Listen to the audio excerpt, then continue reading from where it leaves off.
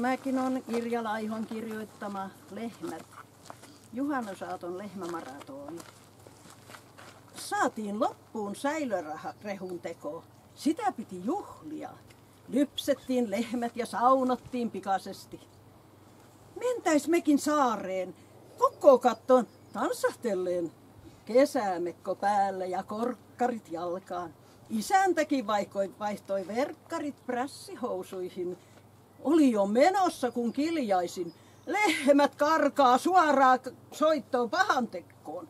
Korkkarit, renti, korkkarit lensi nurkkaan ja saappaat sujat jalkaan. Juostiin lujaa hättiin. Onneksi ei sotkeneet naapurin peltoa.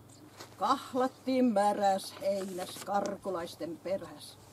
Ajettiin takas laitumelle huviretkeläiset.